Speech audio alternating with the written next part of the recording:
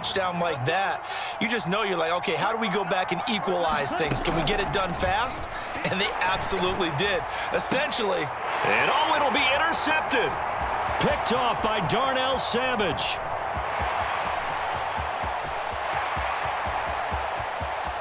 He's got daylight.